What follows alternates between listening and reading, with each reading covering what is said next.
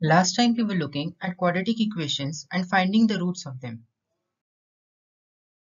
We saw three different methods to find the root of any quadratic equation. The first one we looked at was the factorization method. Then we looked at the quadratic formula and now we are going to study the third method that is completing the square. Now forget the name for some time and consider this equation x square minus 4 is equal to 0. Do we actually need to factorize this or use the quadratic formula to get its solutions? No. Let us try solving this. We can simply transpose the constant term that is minus 4 to the other side to get plus 4 and then solve it further to get the values of x as positive or negative 2. Now, we were able to do so because after transposing the constant term to the right hand side, we got a perfect square on the left hand side that is x square. Let us now take another example and try solving it using the same method. We have here x square plus 6x minus 16 is equal to 0.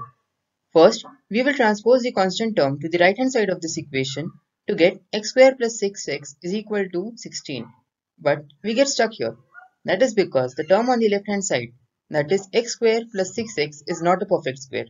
So here comes the concept of completing the square. We need to form a perfect square on the left hand side of this equation. But before we proceed with this, we, there are two identities that we must be clear with. The first one is a plus b the whole square is equal to a square plus 2ab plus b square and the second one is a minus b the whole square is equal to a square minus 2ab plus b square. Note that in the expansion of these identities, the only difference is in the sign of the middle term. And when we solve any equation using completing the square method, it is this sign that defines the sign of the square term form. Let us now proceed. So here we are with the equation. Now we know that we need to complete the square of this x square plus 6x in order to solve the equation completely. We also know that a perfect square can be either of the form a square plus 2ab plus b square or a square minus 2ab plus b square.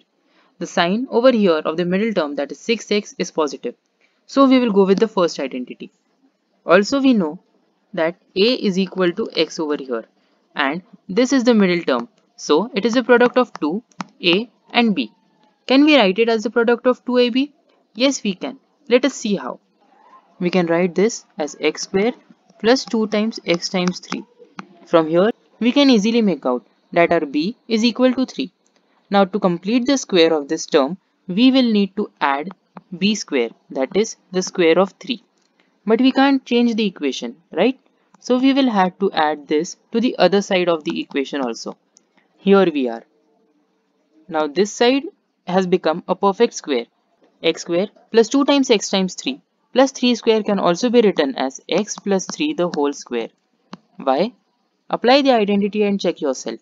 Next, we can simplify this to 16 plus 9. From here we can easily get that x plus 3 the whole square is equal to 25 and x plus 3 is equal to plus or minus 5. From here we can easily find out the values of x that is 5 minus 3 2 or minus 5 minus 3 that is minus 8. Can we now conclude something? Let us see. We have 6x is equal to 2ab and since we know that our a is equal to x, we can rewrite this as 6x is equal to 2 times x times b. When we cancel out x from both the sides, we are left with 6 is equal to 2b and b is equal to 6 by 2. Can we find out a relation from here? Yes, b is half the coefficient of the x term. Let us see another example. Here we have the next example. First of all, we will begin by transposing this constant term to the other side of the equation to get x square minus 4x is equal to 12. Now we know that the middle term over here is 4x and the coefficient of x if we just see the number is 4 and we also know that half of 4 is 2. So we will add 2 square to both the sides of the equations to get x square minus 4x plus 2 square is equal to 12 plus 2 square. Now when we simplify this, we can easily write this as x minus 2 the whole square. Now we took a negative sign over here because the middle term also had a negative sign. And then we can simplify this as 12 plus 4.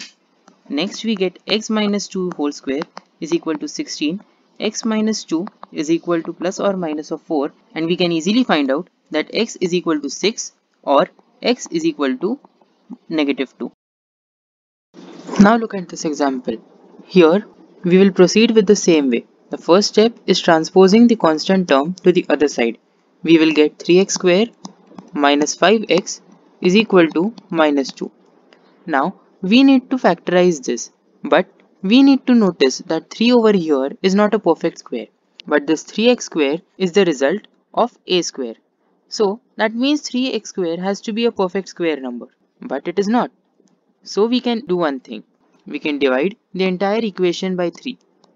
And since we are doing it on the left hand side, to balance it on the right hand side also we need to divide the equation by 3. Now we get x square minus 5 by 3x is equal to minus 2 by 3. Always remember one thing. Try and reduce the coefficient of x square to 1 so that it becomes easy to solve here. Now we can proceed with the further step. We know that the middle term is 5 by 3 and half of 5 by 3 is 5 by 6. So we will have to add 5 by 6 square on both the sides.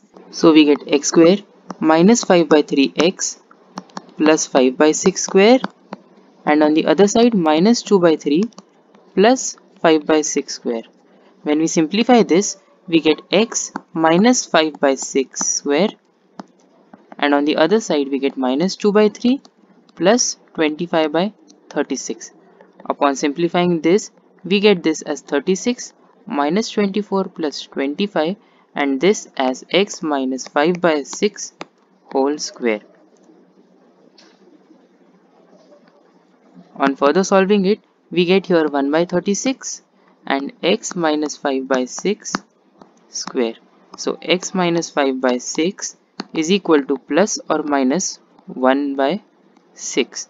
Now we can find the values of x as 1 by 6 plus 5 by 6 or minus 1 by 6 plus 5 by 6. Here we get x is equal to 1 and here we get x is equal to 4 by 6 which is equal to 2 by 3.